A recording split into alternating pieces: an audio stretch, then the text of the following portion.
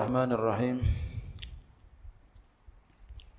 الحمد لله رب العالمين وبه نستعين على أمور الدنيا والدين والصلاة والسلام على أشرف الأنبياء والمرسلين سيدنا وحبيبنا وشفيعنا ومولانا محمد وعلى آله وصحبه أجمعين. سبحانك لا علم لنا إلا ما علمتنا.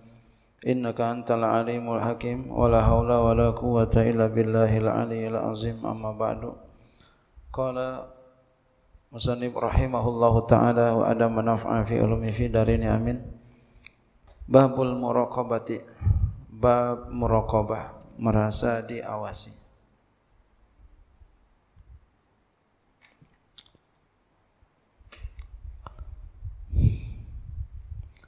Kita merasa diawasi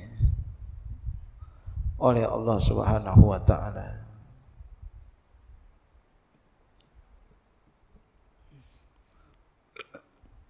Bila mana kita ingin ya menjadi hambanya Allah Subhanahu wa taala yang selamat dunia akhirat maka di antaranya harus kita melakukan yang pertama adalah taubat kepada Allah Subhanahu wa taala.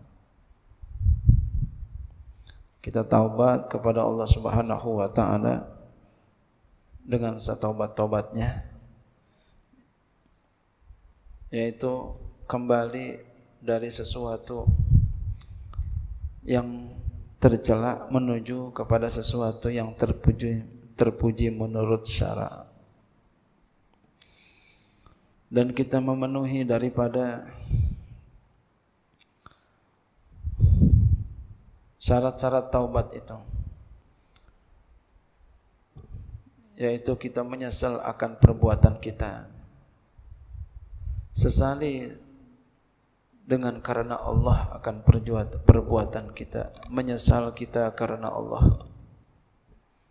Lalu kita cabut perbuatan kita itu kita enggak melakukan lagi lalu tanamkan cita-cita yang ketiga. Kita tidak akan melakukan perbuatan itu. Kalau kita punya salah kepada orang kita minta halalnya. Barang orang kita ambil kita pulangkan. Kehormatan orang kita rusak maka kita minta ridhonya. Bagaimana caranya supaya dimaafin? Kemudian takwa kepada Allah. Taubat lalu kita takwa. Melaksanakan segala perintah Allah, menjauhkan segala larangan Allah.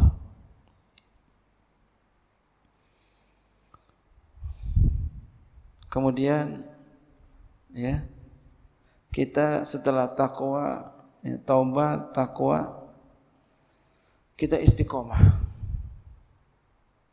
kepada Allah Subhanahu wa taala melaksanakan perintah Allah istiqomah, menjauhkan larangan Allah istiqomah. Lalu kita merasa, lalu kita merasakan, paksakan diri kita rasakan kalau Allah selalu mengawasi kita. Terus namanya muraqabah. Nanti kalau kita terus menerus muraqabah, nanti insya Allah akan mengalami musyahadah.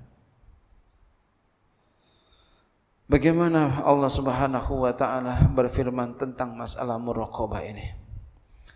Qala Allah taala alladzi yaraka hina taqumu wa taqallubaka fis sajidina. Allah taala berfirman orang yang yaraka melihat engkau. Eh, alladzi yaraka yang melihat engkau Allah. Allah melihat engkau yang melihat engkau Allah. Allah melihat engkau. Hina takumu. Allah melihat engkau ketika engkau berdiri.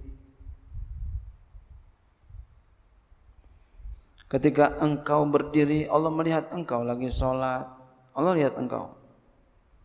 Wa taqallubaka fi sajidina dan perubahan gerak badan engkau pada orang-orang yang sujud Allah juga melihat engkau dalam segala keadaan Allah lihat kita Di mana pun kita berada, Allah lihat kita. Dalam keadaan apapun kita, Allah melihat kita. Allazi yaraka hina taqumu wa taqullubaka fis sajidin. Wa qala ta'ala wa huwa ma'akum aina ma kuntum. Allah Ta'ala berfirman wa huwa ma'akum. Dia Allah bersama kamu aina ma kuntum? Di mana saja kamu berada. pada umumnya diterjemahkan bi ilmihi. Dia bersama kamu bi ilmihi dengan ilmunya. Di mana saja kamu berada. La yahjubuhu makanun. Allah tidak dihijab oleh satu tempat. Wala yakhfa alaihi syanun dan Allah tidak tersembunyi oleh keadaan apapun Allah Maha mengetahui di mana saja kita berada.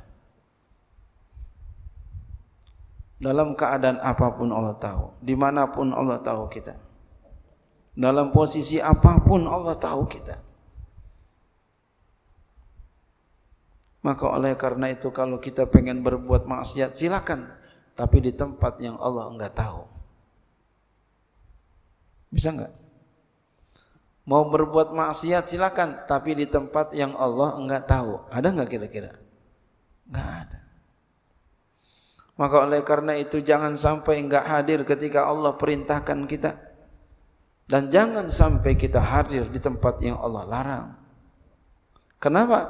Karena Allah Maha mengintai Allah Maha mengetahui Alangkah malunya kita kalau kita melakukan satu perbuatan yang Allah larang. Kita sedang berbuat. Lihat umpama kalau kita datang guru kita, kita lagi berbuat yang jelek. Malu enggak kira-kira kita? Malu. Sama guru aja dahsyat banget kita malunya. Bagaimana oleh Allah? Bagaimana kepada Allah?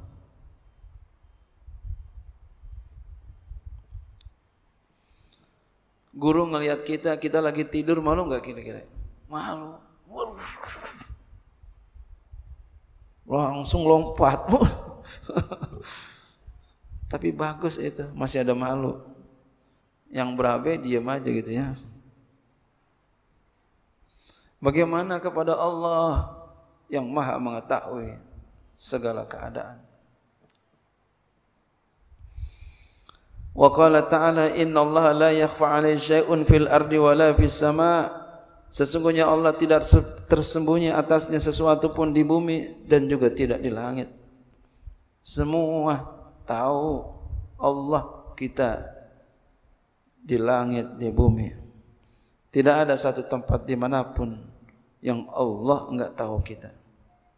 Hmm. Wa qala ta'ala inna rabbaka labil mirsad. Allah Ta'ala berfirman sesungguhnya Tuhan engkau labil mirsad sungguh menguasai. Dimanapun keadaannya Allah kuasa. Tapi Allah kuasa Allah Allah maha pemaaf. Betapapun nistanya kita betapapun jeleknya kita betapapun membangkangnya kita betapapun maksiatnya kita Allah maha pemaaf. Berapa banyak mata kita sudah berbuat maksiat tapi tetap cakap. Masih tetap bisa melihat jelas. Berapa banyak telinga kita sudah mendengar yang maksiat tapi masih bisa mendengar dengan normal.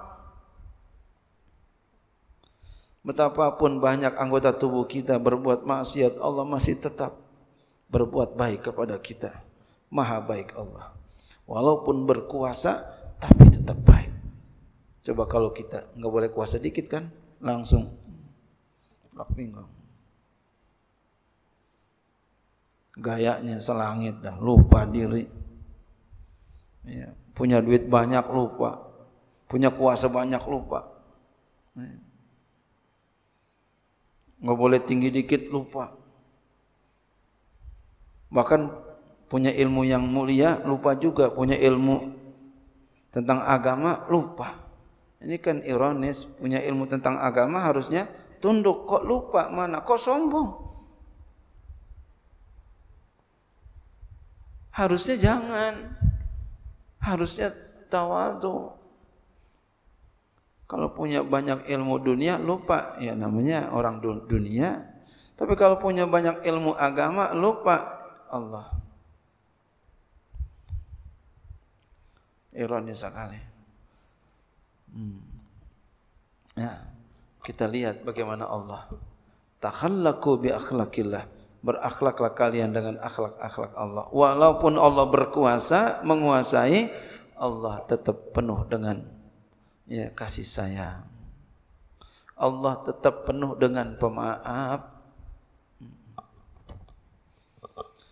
Wa qala ta'ala Allah Ta'ala berfirman ya'lamu kha'inatal a'yun wa ma tukhfis sudur Allah mengetahui kha'inatal a'yun Allah mengetahui mata-mata yang khianat. Allah mengetahui mata-mata khianat wa ma tukhfi sudur dan Allah mengetahui apa yang dada sembunyikan yaitu hati kita. Allah mengetahui apa yang dada kita sembunyikan yaitu hati. Allah sembunyikan hati kita. Allah apa yang hati kita sembunyikan Allah tahu. Mata kita yang khianat tahu mana mata khianat. Kita pakai kacamata. Kacamata hitam. Pakai baju jasmini. Ya. Warnanya putih, sorbannya hijau. Kainnya hijau. Kopiahnya cakap ada ya pakai imamah pakai kacamata hitam hitam. Ya gayanya cakep dah pokoknya dah. Jalan sama teman kita. Ada perempuan cakep cantik. Iya orang lihat kita kayaknya bagus nggak taunya matanya ngelirik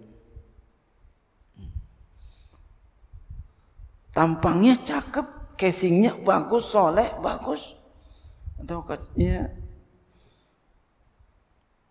kacamatanya atau kacamatanya enggak hitam tapi saru.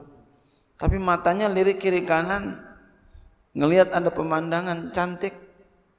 Matanya ngelihat ke situ, ngelihat perempuan cantik, ngelihat lelaki ganteng. Tampang wajahnya bagus, soleh tapi matanya melakukan pengkhianatan. Allah tahu itu. Teman kita tahu enggak kalau kita lagi ngelirik? Enggak tahu. Kalau teman kita tahu, kita sebel enggak tuh sama teman kita? Kalau kita tahu mama kita jadi temannya di samping kita, tampangnya soleh tapi ngelihat yang iya ngelirik.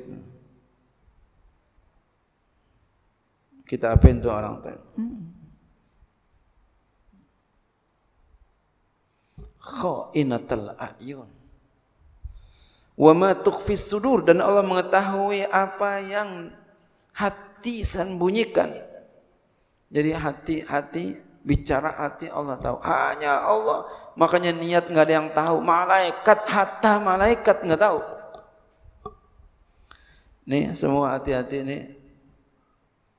Ada yang entar habisnya pengen tidur ngantuk banget. Allah tahu tuh. Ada yang udah tidur aja. Ya,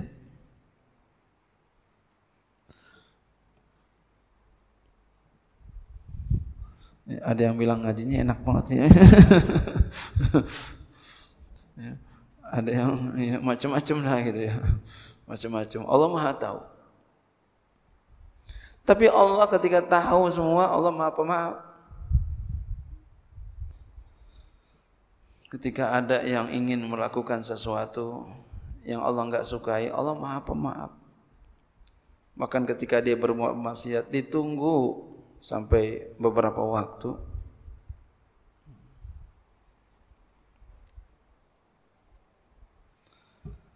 Wal ayatu fil fil babi katsiratun ma'lumatun dan ayat-ayat pada bab ini banyak diketahui Wa amal ahadisu adapun hadis-hadis fal awal maka yang pertama an Umar bin Al-Khattab dari Umar bin Khattab radhiyallahu anhu qala bainama nahnu julusun inda Rasulillah sallallahu alaihi wasallam zata yaumin.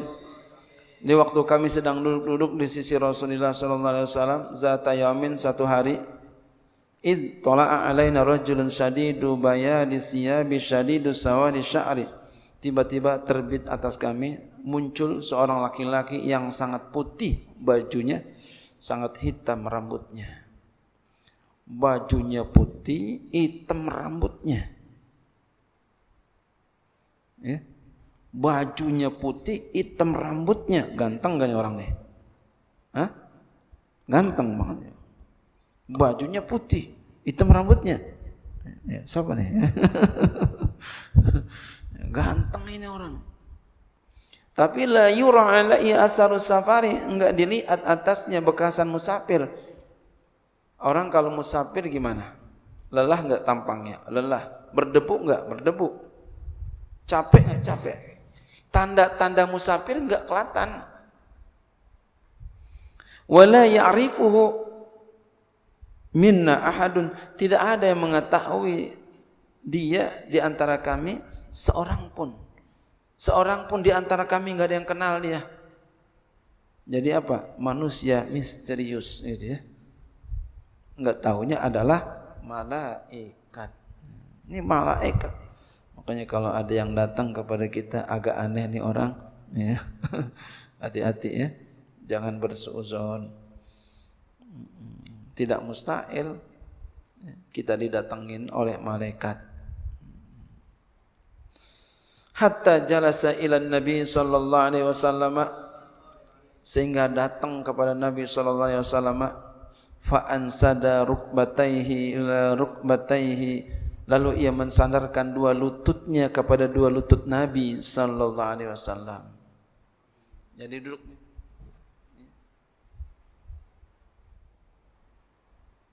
Duduk. Nempel maksudnya subhanallah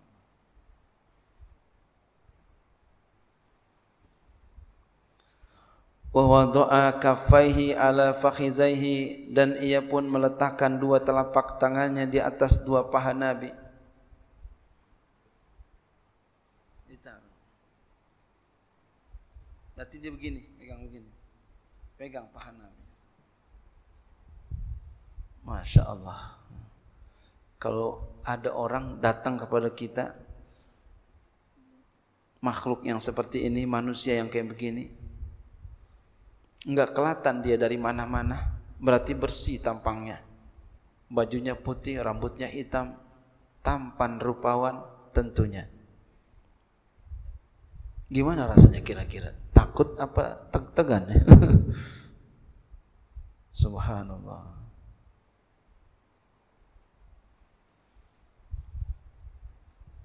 wa qala ya Muhammad akhbirni anil Islam lalu ia berkata ya Muhammad beritakan kepadaku tentang Islam. Nanya sama Rasul apa itu Islam? Beritakan kepadaku faqala Rasulullah sallallahu alaihi wasallam lalu bersabda Rasulullah sallallahu alaihi wasallam al-islamu an tashhada an la ilaha illallah wa anna muhammadar rasulullah Islam itu engkau bersaksi bahawa tiada Tuhan kecuali Allah dan Muhammad adalah utusan Allah. Rasul jawab begitu. Wa tuqimus shalah wa tuqimas salata dan kau dirikan salat. Wa tutiyaz zakata dan kau menunaikan zakat. Wa tasuma ramadhana dan kau puasa Ramadan wa ta'ujal baita in istata'ta ila sabilan. Dan kau pergi haji ke Baitullah jika kau mampu berjalan kepadanya. Qala sadaqta fahajib fa'ajibna lahu yas'alu wa yusaddiquhu. Orang itu mengatakan benar engkau. Nanya tapi benerin. Ini kan namanya orang lagi ngetes ya. Ya nanya benerin. Kalau kata kita udah kalau Udah tahu jangan nanya gitu. Berarti ini beliau adalah makhluk ya. Bukan sembarang makhluk tapi malaikat yang diutus oleh Allah. Fa ajibna lahu yas'alu wa yusaddiquhu. Lalu kata nabi kami pun heran kepadanya. Dia bertanya dan dia benerin qala fa akhbirni anil iman. Berkata lagi bertanya lagi ya beritakan kepadaku tentang iman. Qala antu'mina kau beriman billah kepada Allah wa malaikati kepada malaikatnya. Wa kutubi kitab kitabnya wa rasul dan rasul rasulnya wal yaumil akhir dan hari akhir. Wa tu'mina bil qadari khairi wa dan kau beriman dengan takdir baik dan buruknya. Qala sadaqta. Kata orang itu benarlah engkau Qala fa akhbirni anil ihsan. Bertanya lagi beritakan kepadaku tentang ihsan. Ihsan. Ini di sini ilmu tasawuf di sini. Ihsan.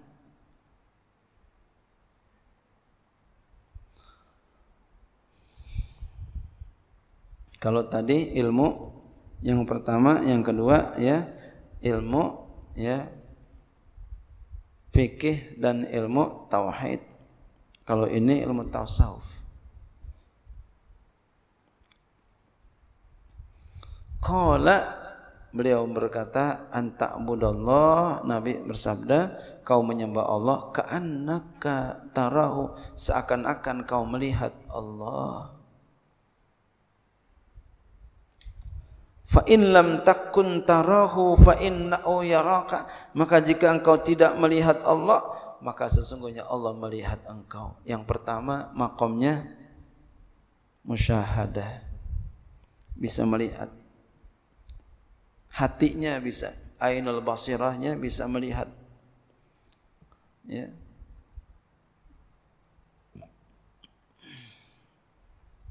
Ketika enggak bisa melihat turun makomnya menjadi makom musya makom muraqabah.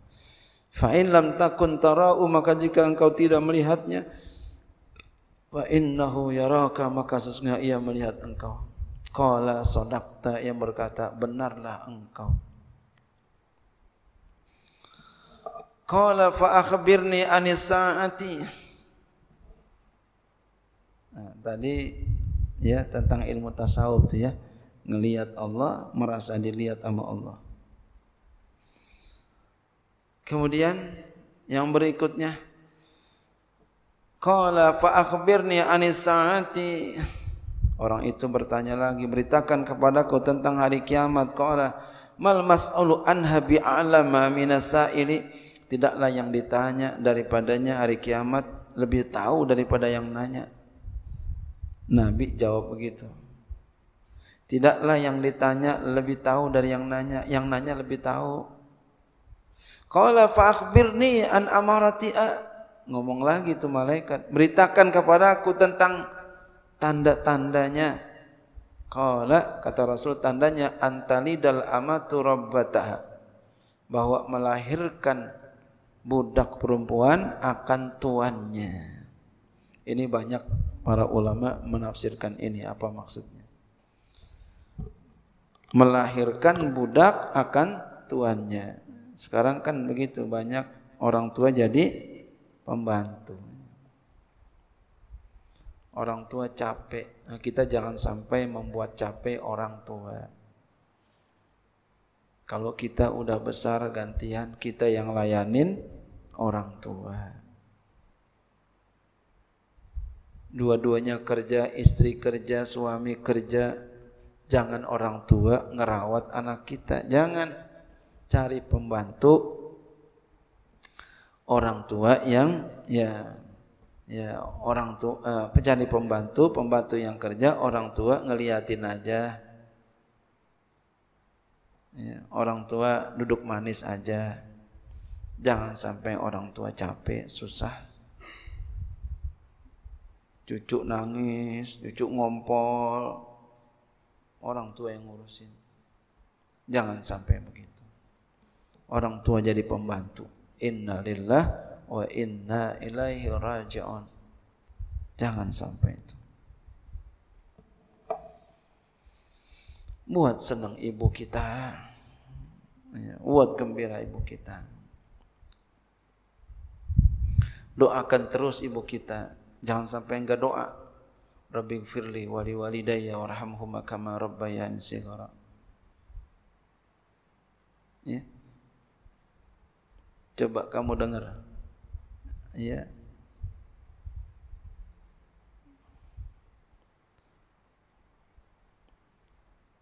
Kalau saya doa, pernah enggak saya enggak baca itu?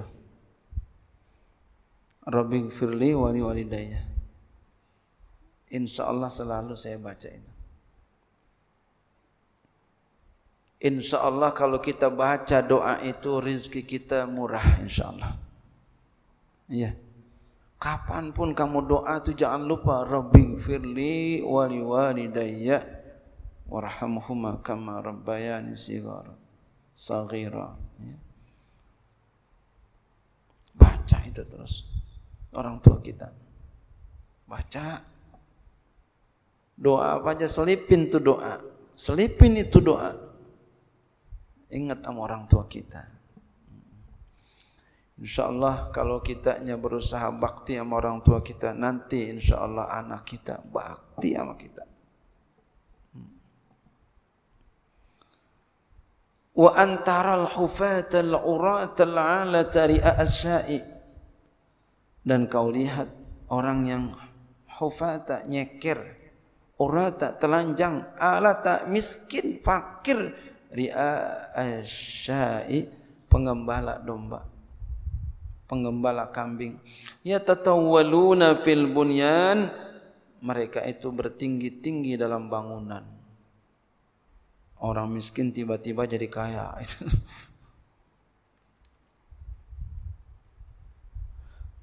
Ini tanda-tanda hari kiamat di antaranya.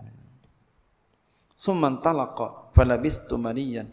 Kemudian berangkat beliau. Lalu aku pun diam mariyan beberapa waktu.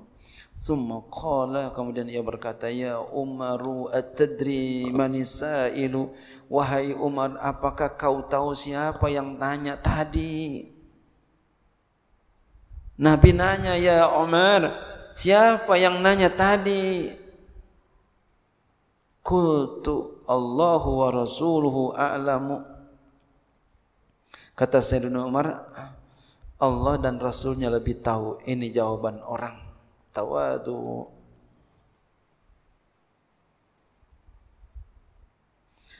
Ini jawaban orang tawadu Murid tawadu sama gurunya ya, Murid tawadu sama gurunya Jadi Sayyidina Umar tahu enggak tu jawabannya? Tahu. Tapi beliau enggak mau jawab. Guru yang tahu. Guru lebih tahu dari saya. Allah dan Rasulnya, Rasulnya siapa? Nabi Muhammad sallallahu alaihi wasallam yang berada di hadapannya. Sayyidina Umar enggak mau jawab itu. Antum lebih tahu. Ini kayak kita ditanya, nih kitabnya udah habis nih ganti apaan? Walaupun guru nanya, jangan jawab. Kitab anu aja guru, jangan. Bagaimana guru aja. Begitu. Ya, jangan maksa guru. Itu contoh kecil aja kayak begitu. Sayyidina Umar, betapa gagahnya beliau, tapi tetap penuh dengan ketawaduan. Bagaimana ya? Ya, kata beliau, aku katakan Allah dan Rasulnya yang lebih tahu. Qala fa inna kata langsung Nabi bilang kata Nabi sesungguhnya itu Jibril atakum yuallimukum dinakum dia datang kepadamu untuk mengajarkan kamu akan agama kamu Subhanallah. Tadi Nabi tanya kepada Sayyidina Umar. Coba kalau Mas Sayyidina Umar jawab. Rasanya gimana kira-kira? Cakap enggak kira-kira? Adabnya cakap enggak adabnya? Kurang cakap. Tapi karena Sayyidina Umar orang yang penuh dengan adab. Beliau pandai menjawabnya. Allahu wa rasuluhu a'lamu. Allah dan Rasulnya lebih tahu. Jadi Rasul enggak mau Sayyidina Umar enggak mau jawab walaupun beliau tahu. Karena beliau tahu Rasul lebih tahu darinya. Beliau enggak mau jawab. Ajaran buat kita biar guru yang menjelaskan. Walaupun kita tahu beliau beliau yang biar beliau yang jelasin. Namanya penuh adab. Langsung Rasul ngomong, fa innahu Jibril sesungguhnya beliau dia itu adalah Jibril atakum yu'allimukum dinakum dia datang kepadamu untuk mengajarkan agamamu ini juga pelajaran buat kita kalau kita di depan guru jangan banyak bicara dan banyak ngomong jangan kita keluarkan ilmu pengetahuan yang kita tahu jangan kita diam saja kenapa beliau lebih tahu daripada kita. Beliau sudah melewati masa-masa kita. Masa-masa seperti kita sudah lewat, sudah tahu. Seperti ini. Pelajaran buat kita. Belajar adab. Orang banyak ilmu hebat, tapi orang banyak ilmu penuh adab lebih hebat lagi. Wa makna talidul amatu rabbataha makna talidul amatu rabbataha ai sayyidaha maksudnya tuannya. Wa maknaha wa maknahu maknanya an taksura sarari ya bahwa banyak selir-selir hatta talidal amatu sirriyatu sehingga melahirkan ya ya melahirkan eh, budak yang secara rahasia budak perempuan bintan akan anak perempuan di sayyidiha bagi tuannya. Wa bintu sayyidi dan anak perempuan tuan fi makna sayyidi pada makna tuan. Wakila Nah, ada kin mengatakan ghairu zalika bukan itu. Tadi saya katakan maknanya banyak ulama memaknakan itu. Di antaranya yang saya tadi terangkan ada juga yang memaknakan seperti itu. Ya, apalagi di zaman sekarang ya itu yang seperti tadi yang banyak terjadinya wal alatu al fuqara ala maknanya orang yang fakir yang susah yang miskin wa qalu malian perkataan malian ai zamanan tawilan zaman yang panjang wa kana dzalika salasan demikian itu ya. Ya tiga ya.